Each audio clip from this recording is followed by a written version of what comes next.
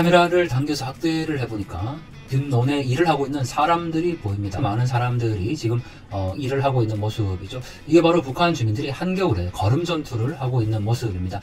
논에 보면 지금 듬성듬성 무더기가 이렇게 쌓여져 있는 것을 볼 수가 있는데 그게 바로 저 사람들이 지게에 날라서 일일이 논에 뿌려 놓은 겁니다. 네, 안녕하세요. 동아대학교에서 북한학을 연구하고 있는 강동환 교수입니다. 랭킹스쿨 구독자 여러분들 진심으로 반갑습니다. 네, 저는 북한을 연구하는 어, 학자입니다. 북한을 보기 위해서는 또 연구하기 위해서는 당연히 북한을 가야 되겠죠. 어, 하지만 지금은 북한을 갈 수 없는 상황이 되었습니다. 저도 약 15년 전에 평양을 비롯해서 여러 군데를 다녀온 적이 있는데 지금은 갈 수 없으니까 그러면 어디를 가야 이 북한을 제대로 좀 보고 연구할 수 있을까 생각하다가 북한과 중국은 국경을 맞대고 있습니다. 이 압록강과 두만강 건너에서 북한을 바라볼 수가 있는데요. 제가 새를 찍는 큰 렌즈를 하나 갖고 이 압록강과 두만강을 다니면서 북한 주민들의 모습을 사진에 담았습니다. 제가 평양에 갔을 때 본 북한의 모습은 그야말로 연출된 장면이죠. 외부에서 평양에 가면 뭐 제가 갈 수 있는 곳을 마음대로 다닐 수가 없고 늘 기관원이라고 얘기하는 사람들의 안내를 받아서 갈 수 있는 곳만 가야 합니다. 그런데 이 압록강과 두만강 건너에서 사진을 찍으면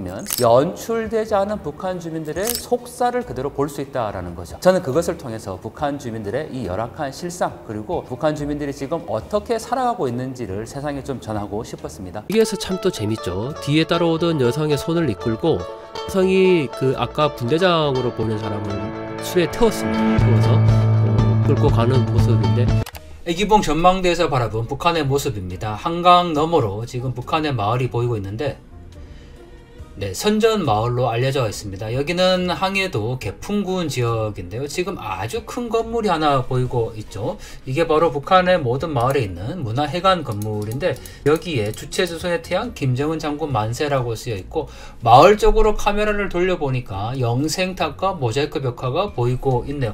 뭐 북한의 어느 마을을 찍어도 항상 똑같은 모습들이 있는 곳인데 어, 쌀로서 우리 혁명을 보유하자라는 구호가 있고 네, 위대한 김정은 동지 혁명사상 만세라는 구호를 붙여 넣었습니다.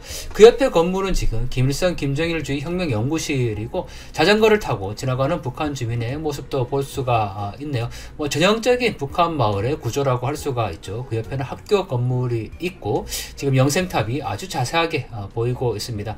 그리고 약 4층짜리 건물로 되어 있는 어, 연립주택이 지금 보이고 있고요. 이 옆으로 지금 이 뭐 나무가 다 베어져 떨어져서 밭을 경작했는데 이 앞쪽에 지금 초소가 하나 보이고 있죠. 그리고 이 철조망이 지금 보이고 있습니다. 작업하는 모습이 보이는데 음, 아마 벙커인 것 같습니다. 지금 이렇게 안쪽으로 들어가 보면 군인들의 모습이 보이지 않고 반쯤 잠기게 되는데 손에 도끼도 들고 있고 또 곡괭이도 들고 있는데 어, 아마 벙커 작업을 지금 하러 온 것 같습니다. 제가 처음 중국에 출장을 가게 된 건 2000년도인데요. 사진을 본격적으로 찍기 시작한 건 2010년 이후에 촬영을 한 겁니다. 최근까지 제가 중국에서 북한의 모습을 찍었는데 지금은 또 중국마저도 갈 수 없는 상황이 되어버렸습니다. 왜냐하면 이 북중 국경에서 사진을 촬영하는 건 엄격히 금지되어 있고 특히 중국이 작년 여름에 반간첩법이라는 것을 시행했기 때문에 뭐 저희가 쓰는 이 큰 렌즈 를 갖고 북중 국경을 촬영하는 건 간첩 혐의를 받습니다. 이미 저는 또 그 전에 중국에서 추방이 됐습니다. 왜냐하면 중국에서 사진을 찍고 또 탈북민을 만나고 뭐 이런 일들이 있어서 중국에서 이제 추방이 됐고 지금은 갈 수 없는 상황이 되어버렸죠. 북한을 갈 수 없는 상황이 돼서 북중 국경에 갔는데 이제는 그것마저도 갈 수 없어서 굉장히 좀 답답한 그런 마음입니다. 중국 사실 굉장히 좀 무섭습니다. 왜냐하면 제가 추방될 때 그 잠깐 동안 경험했던 순간의 경험들이 결국에는 굉장히 큰 트라우마로 남아 있어서 뭐 어디를 가나 이렇게 다른 나라에 갈 때 입국 심사, 출국 심사를 받을 때 늘 가슴이 조마조마하고 중국은 추방을 한 번에 시키지 않습니다. 몇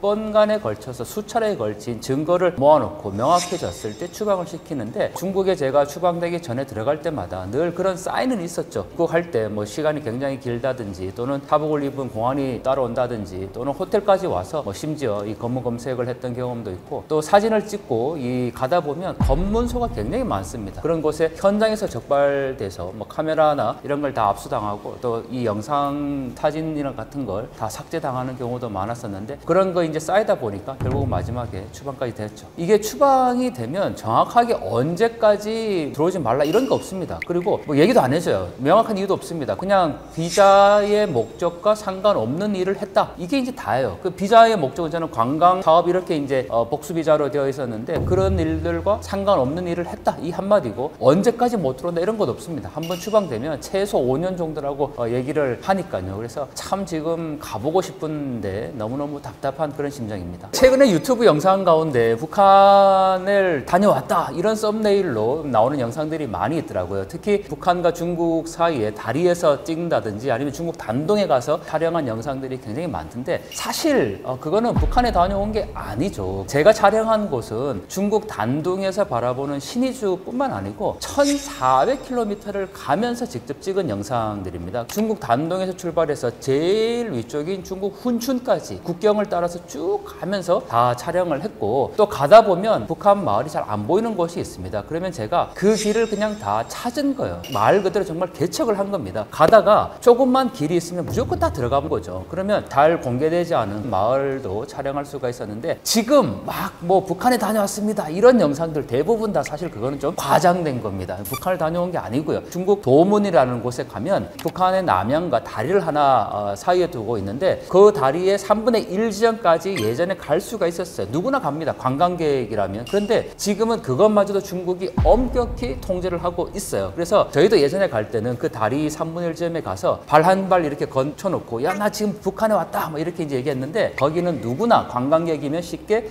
갈 수 있는 곳이다. 제가 간 곳은 제가 개척한 길이다라는 것을 꼭 말씀드리고 싶네요. 근데 일반인들은 가기가 어렵습니다. 왜냐하면 일단 지금 유튜브에서 나오는 많은 유튜버들이 공개하고 있는 것은 관광객이면 누구나 갈 수 있는 장소이고 심지어는 중국에서 유람선을 운영하는데 그 신의주 압록강의 유람선을 타고 북한을 촬영하는 정도이죠. 어, 제가 간 곳은 정말 그야말로 철조망이 다 쳐져 있는 놓여져 있는 그리고 심지어는 뭐 2중 3중의 철책이 있고 제가 숲이 가려져 잘 보이지 않을 때는 그 철조망을 넘어서서 들어갔고 또 압록강 과 두만강에서 북한을 보려면 어쨌든 강에 가까이 가야 되는데 대부분의 강이 잘 보이지 않습니다. 그러다 보면 높은 산 위에 이제 올라가서 찍어야 되니까요. 그래서 산 위에서 숨어서 찍거나 뭐 강을 따라가면서 갔는데 가다가 호텔에서 자는 것도 아니에요. 그냥 이렇게 민가 같은 그런 곳에 이제 자다 보면 밤에 북한에서 말하는 소리가 들려요. 그냥 워낙 가깝기 때문에 그런 데 곳에 가면 또 밤에 공안이 찾아와서 너 왜 왔냐? 뭐 어떤 목적이냐? 뭐 카메라 이렇게 검색하고 막 그러는데 카메라 자체가 있는 것은 문제는 아니에요. 일단 의심부터 하게 되는 거고 거기에서부터 몇 번 신원조회라든지 이런 걸 이제 하게 되는데 일단 범죄자는 아니니까 뭐 중국 현재 공안들이 뭐라고 할 수는 없지만 그래도 계속 미행을 하거나 감시를 하게 되죠. 제가 뭐 목숨 걸고 찍어온 사진이다 영상이다 이렇게까지 좀 과장하고 싶지는 않은데 그래도 굉장히 위험했던 찰나의 순간들이 많았다는 거는 꼭 말씀드리고 싶네요. 근데 많은 분들이 이런 질문들을 하세요. 그 영상과 사진 중에서 가장 뭐 처참한 장면은 무엇이었냐 이렇게 이제 말씀을 주시는데 저는 제가 바라본 모든 장면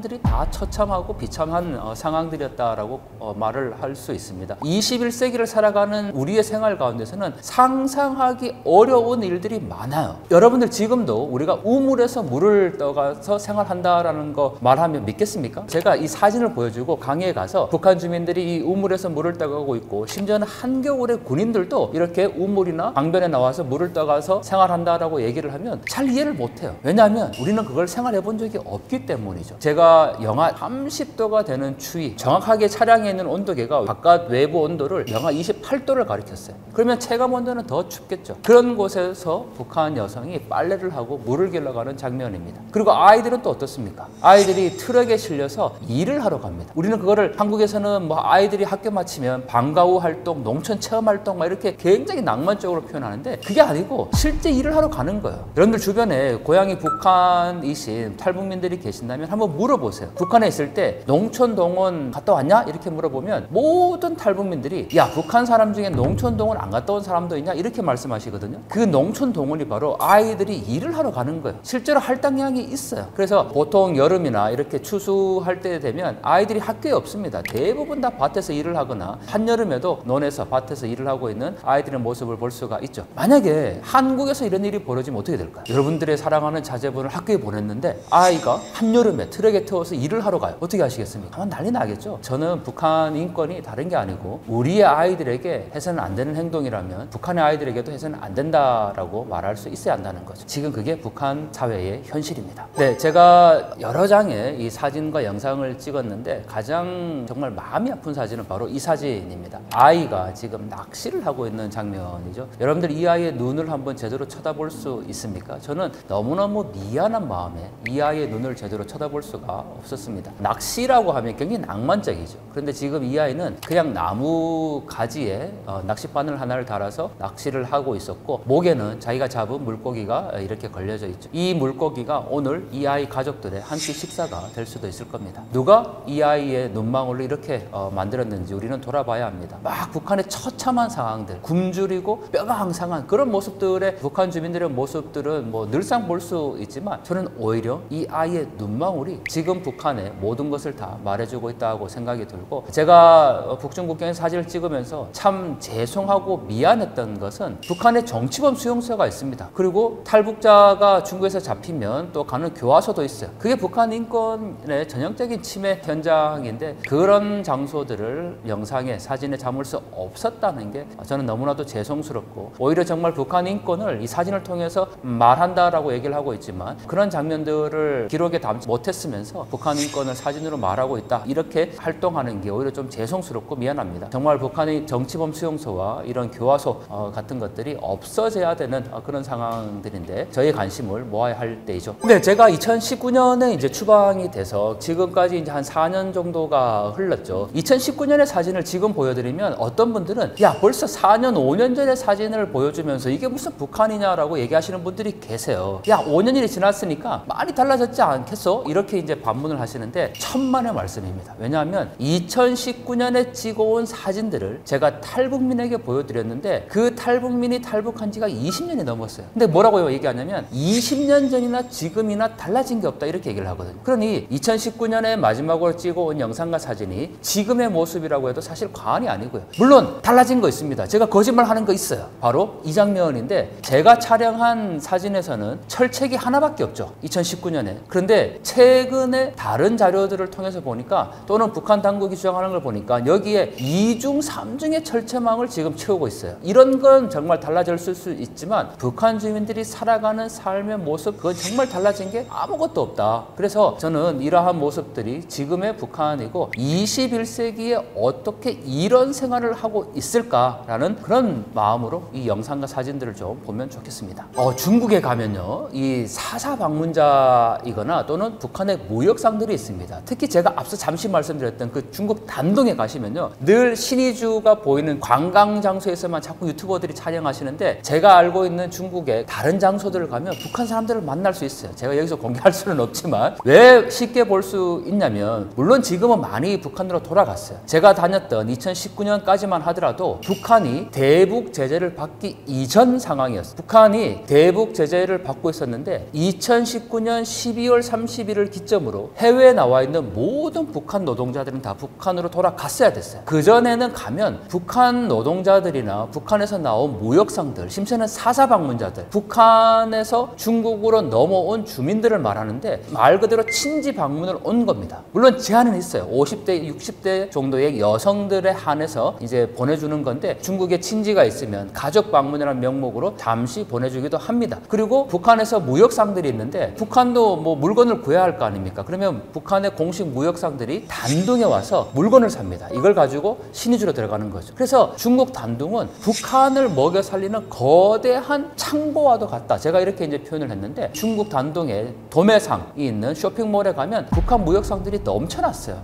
그런 사람들과 제가 직접 접촉을 해서 뭐 인터뷰하기도 했고 또 이 중국에는 탈북 여성들이 많이 있습니다. 이분들은 말 그대로 탈북자예요. 근데 인신매매를 당한 거죠. 한국까지 오지 못 하고 중국 내에서 인신매매를 당해서 지금 거기에 체류하고 있는 머물고 있는 북한 여성들도 많이 있습니다. 그래서 중국에 가면 이렇게 다양한 북한 주민들을 또 접촉할 수가 있는데 사실 그건 굉장히 위험한 어, 일이고 일반인 분들이 그렇게 해서는 결코 안 되는 거죠. 그리고 또 유튜브에서 보면 아주 인기 있는 북한 관련 컨텐츠 중에 북한 식당 방문기가 굉장히 많아요. 와 막 거기 가서 북한 주민 만나서 북한에 뭐 갈 뻔했어요. 북한에 뭐 납치될 뻔했어요. 막 이렇게 또 과장하는데 그거 솔직히 또 너무 과장이거든요. 그 정도 아니고 북한 식당에 가서 뭐 북한 사람들과 접촉할 수 있는 정도인데 그걸 북한 사람이지만 북한 사람은 아닌 거죠. 왜냐하면 뭐 당연히 신부는 북한 사람이지만 그곳은 누구나 이제 관광객이면 쉽게 아, 갈수 있는 장소니까 아 제가 북한 갔다 왔어요. 뭐 북한 주민 만났어요. 아 이게 좀 너무 과장입니다. 제가 쓴 책 중에 사람과 사람이라는 책이 있습니다. 북한 주민들 100명을 제가 현장에서 직접 인터뷰를 한 책입니다. 최초로 사실 했다고도 어, 과언이 아닌데요. 지금까지 한국에서 한국 사람들을 대상으로 한 통일 의식 조사는 굉장히 많았습니다. 매년 하고 있어요. 지금도 합니다. 매년마다 자료가 나오는데 지금까지 북한 주민들을 대상으로 통일 의식 조사를 한 건 없습니다. 그래서 제가 중국에 직접 가서 북한 주민 100명, 예를 들면 지금 말씀드린 사사 방문자 또 무역하러 나온 사람들 이런 사람 100명을 만나서 어, 인터뷰를 진행했는데 뭐 여기에 보면 이제 통일은 언제 될 것 같냐라는 질문도 있고 또 통일에 가장 뭐 반대하는 세력은 누구냐 이런 질문도 있고 심지어는 이때가 김정은이 등장한 지 얼마 안 된 시점이었습니다. 그래서 김정은에 대해서 어떻게 생각하느냐 이런 질문도 있는데요. 그 당시에 가장 관심이 있었던 거는 북한 내의 남한 영상물의 확산이었습니다. 그러니까 지금은 남한 영상물, 뭐 영화나 드라마, 케이팝이 북한 내에서 확산되고 있다라는 주장에 대해서 반대하거나 반론을 제기하는 사람이 없어요. 심지어 지금 총일부에서 발간하는 북한 인권 실태 보고서나 인권 보고서 이런 자료에도 보면 탈북민의 증언들을 통해서 북한에서 남한의 영상물을 봤다고 다 증 언들을 합니다. 근데 제가 그 100명을 만났던 시기가 2015년 정확히 지금부터 약 10년 전인데 그때는 남한의 영화나 드라마를 북한에서 봤다 이런 주장에 대해서 잘 믿으려 하지 않았어요. 그래서 제가 그러면 제가 가서 직접 북한 주민을 만나서 물어보고 오겠다 이렇게 해서 가게 된 거죠. 그래서 제가 북한 주민을 중국에서 만나서 뭐 쉽지 않죠. 만날 때 007 작전처럼 그렇게 만납니다. 뭐 약속을 했다가 갑자기 또 전화 와서 뭐 장소를 변경하고 정말 그렇게 어렵게 만났는데 첫 질문부터 북한에 핵 무기 어디 있어요? 이렇게 질문하면 가르쳐 주겠습니까? 안 가르쳐 주죠. 절대 뭐 인터뷰할 수가 없죠. 그런데 정말 놀랍게도 중국 단둥에는 한국 방송이 잘 나옵니다. 실시간으로 나옵니다. 그러면 그 만난 장소에서 일부러 이렇게 남한 방송을 이렇게 본다든지 아니면 제가 핸드폰으로 이렇게 보여주면 이게 한국 드라마 내용이잖아요. 이걸 또 본 거예요, 그분이. 그러면 아주 쉽게 자연스럽게 인터뷰가 이루어지게 되는데 그 다음 장면 뭐예요? 뭐 이렇게 이제 물어보는 거죠. 아니면 천국의회담 북한에 있을 때 봤어요? 뭐 이렇게 이제 시작하는 겁니다. 북한 주민들 이 북한에서 가장 많이 봤다고 얘기하는 남한 영상물이 바로 천국의 계단입니다. 그래서 최지우 굉장히 인기 좋습니다. 이 드라마 지금 잘 기억이 나지 않죠. 그런데 여기 유행어도 있어요. 사랑은 돌아오는 거야. 뭐 이런 거. 그래서 북한 주민들이 뭐 남한 가면 다 그런 사랑 할 것이다. 특히 북한 여성분들 남한 가면 다 송수환 같은 뭐 그런 남자 있을 것이다. 이러고 이제 왔다는 주장도 굉장히 많은데 자 어쨌든 그때 제가 만났던 주제는 북한에서 어떤 남한 영상물이 확산되고 있는가 이게 큰 주제였죠. 김정은에 대해서 어떻게 생각하느냐 이런 질문들이 있었는데 김정은이 처음 등장한 게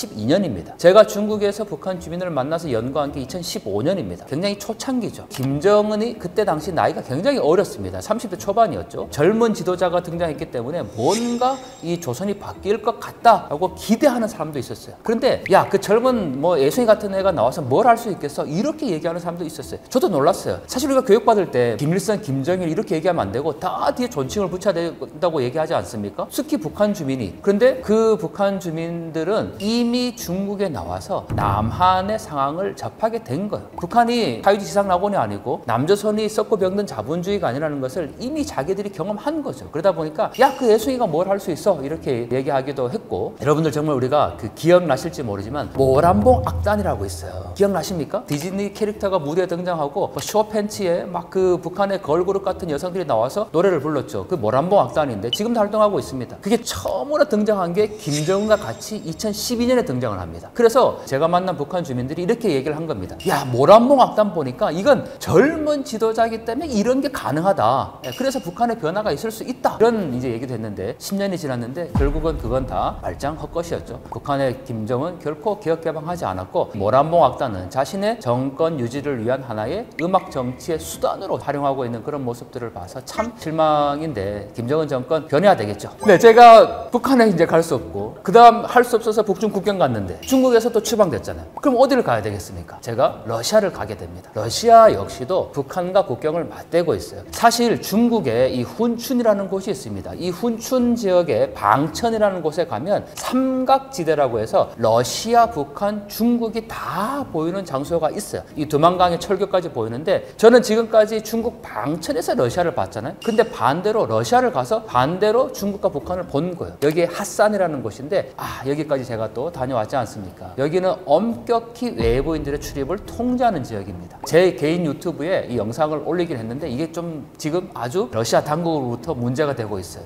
제가 앞으로 러시아도 가야 되는데 잘못되면 안 되니까 여기서 더 이상 말씀드리기는 좀 어렵고 러시아는 제가 국경을 보러 간 것도 있지만 제일 중요한 거는 노동자를 만나러 간 겁니다. 북한이 외화벌이를 위해서 중국과 러시아 심지어는 아프리카 국가에까지 해외 파견 노동자를 보냅니다. 제일 많이 나와 있는 것은 당연히 중국이지만 이 해외 파견 노동자들의 좀 성격이 다른데 러시아에 가면요. 러시아에서는 건설 노동자들로 나옵니다. 해외에 나와 있는 북한 노동자들이 다 북한으로 돌아가기 전에 상황들로 보면 러시아 극동 지역에 어디를 가나 건설장에서는 다 북한 노동자가 있었다고 해도 과언이 아닙니다. 물론 지금도 있습니다. 이 극동 지역에 아직까지도 어, 북한 노동자들이 남아 있어서 저희가 여기에 가서 이들과 접촉을 해서 북한 노동자들이 얼마나 열악한 생활을 하고 있는지를 또 조사 를 하게 됐는데 다녀와서 제가 또 러시아에서 분단을 만났습니다라는 책을 발간을 하게 됩니다. 이 책에 보면 제가 러시아에서 만났던 북한 노동자들의 삶의 모습과 실태가 고스란히 담겨져 있는데 북중 국경에서는 정말 연출되지 않은 북한의 모습을 그냥 제가 촬영하면 됐지만 러시아에서는 북한 노동자를 만나서 이 인터뷰를 하는 거니까요. 이걸 영상에 담을 수는 없었습니다. 담아서도 안 되고요. 왜냐하면 그분의 철저한 신변을 저희가 안전을 보장해 줘야 되고 또 그렇기 때문에 책에서도 조 그마한 단서도 제가 들어가지 않도록 각별히 주의를 기울였는데 왜 어, 그렇게 인터뷰를 하고 책을 냈을까? 충성의 외화벌이라고 부릅니다. 해외 파견 노동자들을요. 이 단어 안에 모든 게 들어있지 않습니까? 그러니까 자기가 나와서 해외에서 24시간 정말 잠도 자지 않고 한 4시간, 5시간 자고 건설 노동을 합니다. 일을 합니다. 그런데 돈을 벌지를 못해요. 그 돈을 다 국가에 그냥 바쳐야 되는 거예요. 물론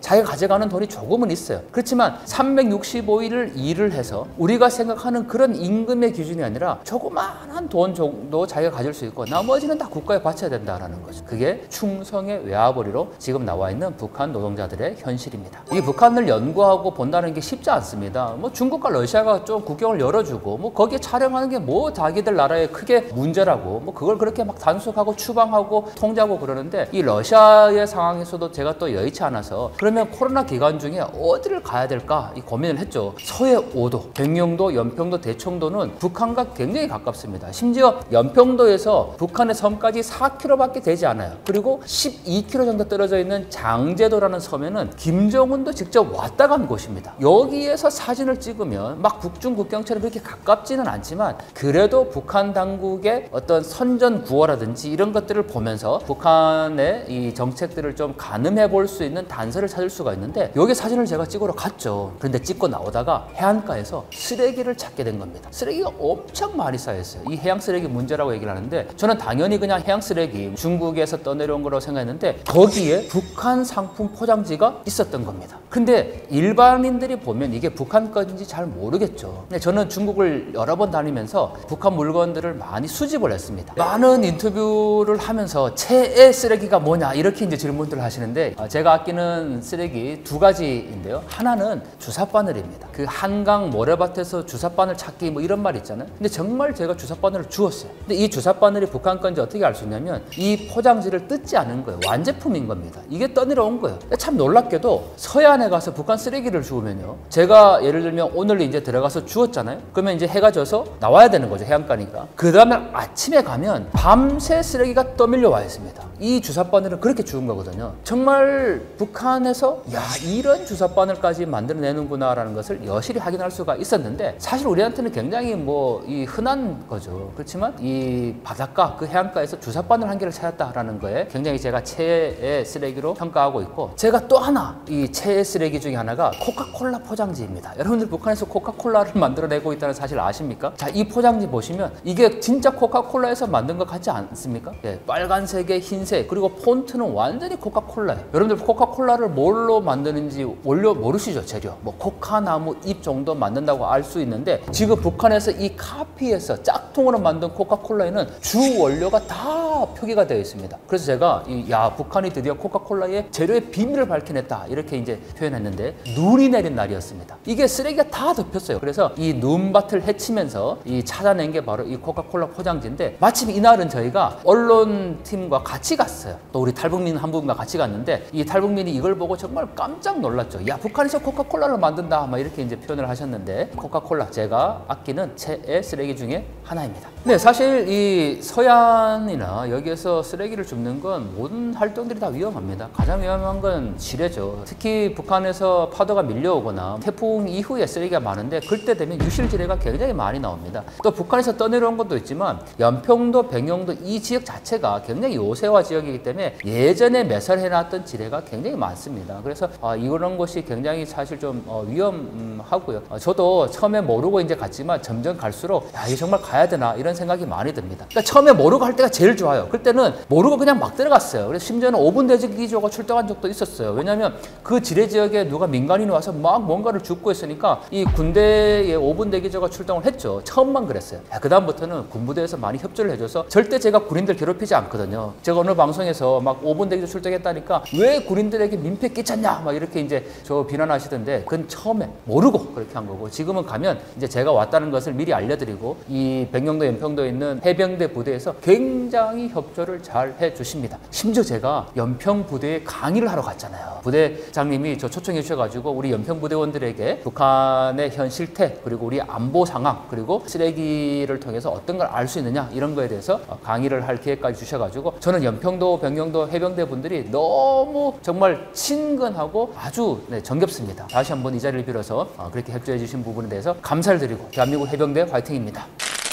네, 사실 북한을 연구하는 어, 학자가 북한을 가면 제일 좋겠죠. 제가 중국이나 러시아, 심지어는 뭐 서해안 지역에 이렇게 위험한 지대까지 가는 이유는 북한을 갈 수 없기 때문입니다. 그건 바로 우리가 분단되어 있다라는 거죠. 어, 저는 북한을 연구하는 데 있어서 통일을 얘기하지 않는 북한 연구는 의미가 없다고 생각하는데 오히려 저와 같은 주장을 하면 학계에서 왕따입니다. 아니, 왜 북한 학자가 객관성을 유지하지 못하고 통일을 얘기를 하고 뭐 북한 김정은 정권이 무너져야 된다 뭐 이런 얘기를 하느냐라고 어, 주장 주장하시는데 제가 북한을 보려고 하는 이유, 연구하는 이유는 어떻게 하면 북한 체제를 변화시킬 수 있고 우리가 통일할 수 있을까 이 목적이 있기 때문에 어, 이 위험한 어, 상황들을 부담을 안고 어, 갈 수가 있다는 거죠. 사실 이제는 북한을 정말 대한민국으로서 그렇게 통일이 되어서 그렇게 가면 제일 좋겠지만 지금은 그렇게 갈 수 없는 상황이죠. 저 여러분들이 조금 더 북한 문제에 관심 두고 대한민국이 통일되는 그날까지 북한 체제가 변화되는 그 순간까지 우리의 관심을 함께 모아야 할 때일 것 같습니다.